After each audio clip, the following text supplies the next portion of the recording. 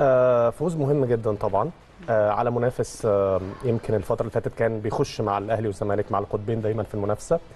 مكاسب كتيرة جدا. مكسب بالنسبة لي شوية كان خارج الملعب وهو عودة الجمهور الأهلي الحقيقي. كنت عايزه أتكلم عن الجمهور الأهلي رجع. المدرج الجمهور الأهلي الحقيقي اللي إحنا عارفينه.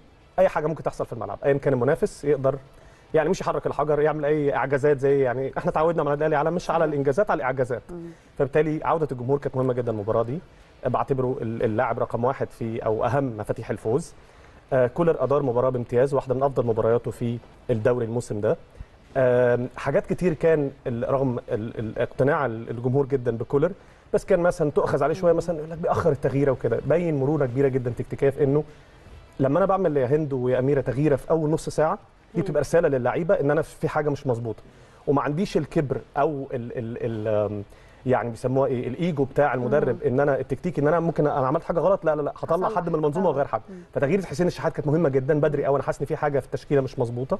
بعدين تغيير برضو بدء بمحمد شريف في أول دقيقة في الشوط الثاني أعتقد إنها آه، فرقت جدا.